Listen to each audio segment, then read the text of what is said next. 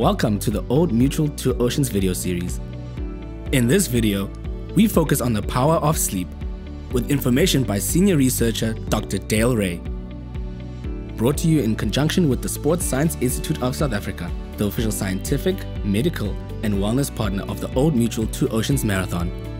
Roger Federer is famously quoted as saying, If I don't sleep 11 to 12 hours a day, it's just not right. If the pros take sleep so seriously, shouldn't you too? Would you like to improve your athletic and work performance or your general health and mood? If yes, then try adding an extra hour of sleep each night as many of us are not hitting the mark in terms of getting enough sleep.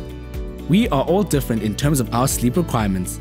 The latest guidelines from the National Sleep Foundation in the USA recommend adults between 18 and 64 years old need to obtain between 7 and 9 hours of sleep each night. For some, 6 hours may be adequate, but for others, as much as 10 hours of sleep is needed. Finding your sleep sweet spot is key, but how do you know that you're getting enough sleep? An easy way to tell is if you can wake up on time without an alarm clock, feeling refreshed and ready for action. Our sleep needs can change, specifically when you add athletic training to the mix. When you do that, you'll need more sleep because exercise training imposes a stress on your body from which you need to recover, allowing adaptation and hopefully improved performance. Sleep therefore becomes a critical part of recovery and most professional athletes sleep in excess of 8 hours each night. Here are some tips on how to get more sleep. Tip number 1. Establish a routine. Try to go to bed and wake up at the same time each day, even on weekends. Your body responds well to routine. Number 2. Seek light first thing in the morning, preferably outdoor light. Sunlight, or what scientists refer to as blue light, is stimulating and helps prime your body for the day. Once the sun sets in the evening, be wary of too much artificial light exposure. Our bodies are designed to respond to the reduced light levels in the evening to initiate sleep. Number 3. Avoid excessive screen time in the evenings. TVs, phones, tablets, and computers suppress melatonin, which helps promote sleep. If you're going to be staring at a screen before bed, install apps that filter the blue light from your screen. Tip number 4. Limit caffeine intake to the morning. This gives you the best chance of feeling sleepy at a reasonable hour at night.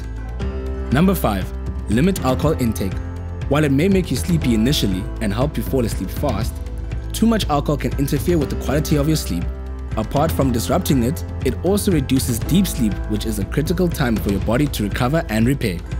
Number 6. Try not to exercise or eat too late in the evenings. Just like light, exercising will put you on an endorphin high, making it hard to feel sleepy and fall asleep after a session. And lastly, tip number 7 Tune down before turning in. Try to avoid work, studying, or anything else too stressful in the hour before you turn out the lights. A stressed, overactive mind is a recipe for insomnia. Pre-race nerves and an early rise time the morning of a race often means poor sleep the night before. Luckily, this is unlikely to affect your race performance as long as you have slept well the week before the race. To arrive at the start feeling fresh, bank as much sleep as you can in the week leading up to your race. Good luck with your sleep strategy and have a great run.